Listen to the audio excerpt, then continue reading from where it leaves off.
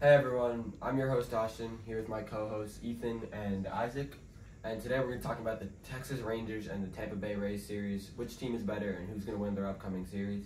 Ethan, what's your thoughts?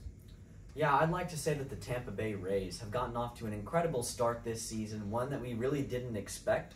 The Rays are never expected to play as good as they do, but this season was Uh, really the year for them to fall off. But Wander Franco and Randy Arozarena and other hitters have really stepped up to carry the bats to one of the best hitting teams in the AL East.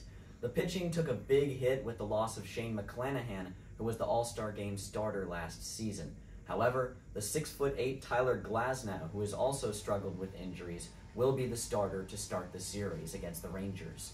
I'd say the Rays put up a fight in this series, but I don't think they'll beat the Rangers in every game. Isaac? So I think that the Rangers will win mainly because we got Andrew Heaney pitching game one, and they're gonna and he's one of those underrated pitchers in the league. He has a really good win loss record, and with our uh, the way our offense has been playing, other than last night, but overall our offense has been one of the best in baseball, and we've definitely improved a lot. And da da da da da.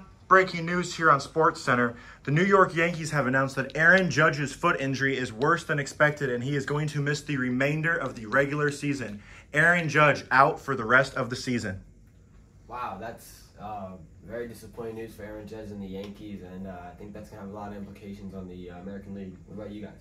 Yeah, um, that's definitely means a lot for this Rays team. That's a big, big news, meaning they can probably hold a lead in the AL East, maybe for the rest of the season the Yankees, that is a big hit to their offense. Of course, Aaron Judge creates a lot of that power, a lot of that RBI energy in the Yankees offense. Definitely going to shake up that AL East, and it's going to give teams like the Rays and the Blue Jays a second wind to go to the All Star break.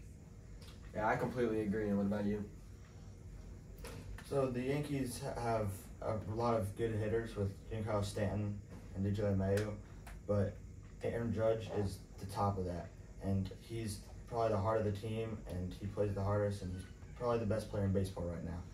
And with him being out, that says a lot for the Yankees, and that's really heartbreaking for everybody in the Bronx. And like Ethan was saying, I think the Rays could easily win the AL East big time now. All right, that's gonna be all today. Once again, I'm your host Austin. with my co-hosts Ethan and Isaac, and that's all for today. Thank you.